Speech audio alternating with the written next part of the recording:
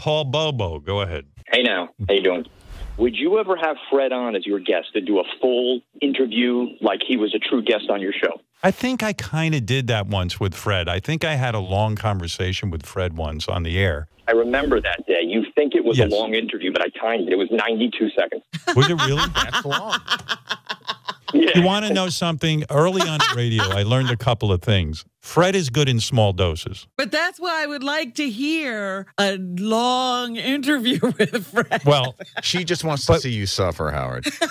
you want to know something? And Robin won't admit this. Robin once uh, said to me in private, and I hope you don't mind me revealing this. She said, I she never turned to me. this. She said, "Howard, 92 seconds with Fred is a lifetime."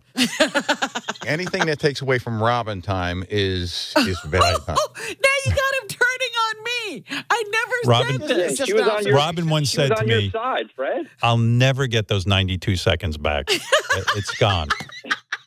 Here, I'll try one question with Fred, and we'll see how it goes. All right? All Let's see.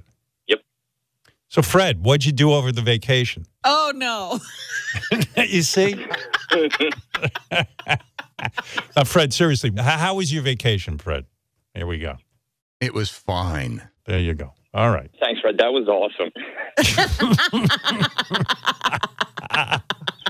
Wasn't that great? If, if people on the Academy Award should have learned from Fred. Now Shut the just fuck up. imagine an But- hour of that.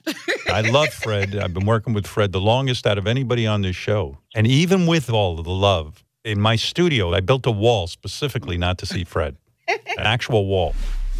There it goes. No more Fred. I block him out. Goodbye, Fred. There's I'm the wall. marking this date. All right. Fred is now hidden from my view and the audience's view.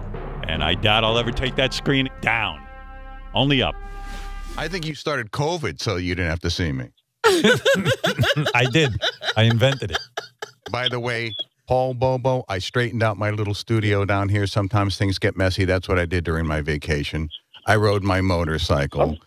I cooked some dinners, and that's it. Where did you, stuff. Fred? I'm going to do Oh. a follow up like Barbara Walters. Please. Where did you ride your motorcycle? I went to Montauk Point. It's very beautiful there. You went somewhere to just look, Sometimes I just like to ride just to clear my head.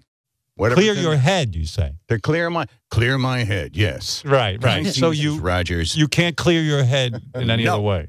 Okay. No. All right, here's the interview. Paul Bobo wanted, and I'm giving it to him. Uh, no, this is not, what is in your head that needs You're to not be getting cleared out? get out. Yes. after a while it starts to get on your nerves that you're like you're in a house. You just got to get out. You got to feel sort of free, and it's a safe way to do it. So you didn't really clear your head. You just wanted No, to no, get out of do the house. You do clear your head by getting out and seeing. And not only that, it's, it's much different riding on a motorcycle than it is driving in a car. You get and what the is it about your get the family that you have to get out of the house from them? What went wrong? I get on their nerves, and they get on mine sometimes. You know, It's a- you got a on your wife's space. nerves over the vacation. I get on her nerves. You actually this vacation, no. Forget interviewing Fred long form. Let's interview Fred's wife long form. I want to. See how she, what he what Now irritates her. oh my God, Fred's out of the house. Thank God. Ah. I'm sure she does. So, Fred, when you got to Montauk Point, Yeah, I'm, I'm being serious because I don't get this. You got there, Hmm. you get off your bike. Do you park the bike or do you sit on the bike and look at Montauk Point? I got off the bike and I looked because it's a really beautiful view. It's almost like a, it's not a 360, but you get to see Long Island Sound all the way out. You know, How long do you spend looking at Long Island Sound? I probably spent 10 minutes looking. You stared for 10 minutes. The staring I is 10 stare. minutes. I Right. stare for 10 minutes. Yes. Why 10 minutes? Can't you get one or two minutes and then kind of Were be you done? watching your clock? I mean, are there new things that you pick up during minutes seven, eight, and nine that you couldn't have picked up in it's minute just six? the beauty of the universe. I'm not putting you down. I'm just trying to understand. In other words, oh, no, I you are putting me down, but that's okay. No, I'm not. No, I'm not. Yeah. I feel you Go ahead. need to justify the long ride, so you spend 10 minutes looking. I think you'd be done in five minutes looking at Montauk. Well- Point, and then you turn around and go but back it's home. more the 10 minutes is to kind of reconnect your thoughts as well because when you're riding you're doing nothing but thinking about riding the motorcycle itself he gets on the motorcycle to clear his mind. right. yes Then he gets to Montauk Point to reconnect his mind.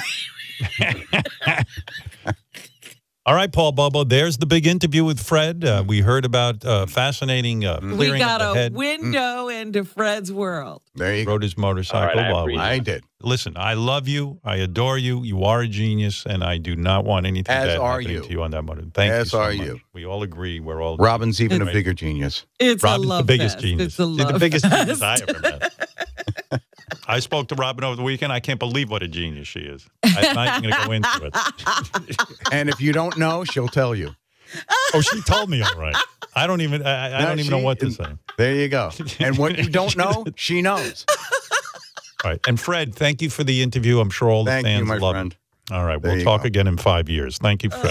Cut him off completely now. goodness.